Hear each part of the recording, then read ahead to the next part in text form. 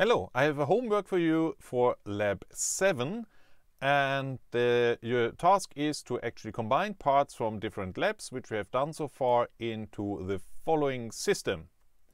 This is our microcontroller board with the ATmega 32U4 and our servo motor and the potentiometer and we have a group of 8 LEDs here and what is connected where. The servo motor is connected to B5, so bit 5 of uh, port B, the same way as in today's instructions in, in the lab or demonstrations in the lab. And this is at the same time the channel A output of timer 1's PWM signals.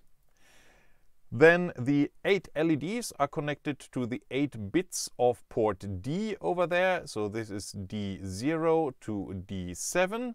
And uh, the potentiometer is connected between 3.3 volts and 0 volts. And the mid connection is going to F0, which is input 0 of the analog to digital converter. And what does the system do?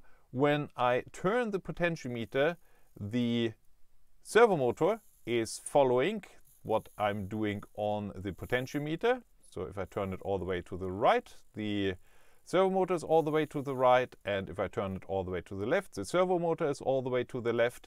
And also the LEDs down here indicate where I am on a scale from all the way to the left to all the way to the right.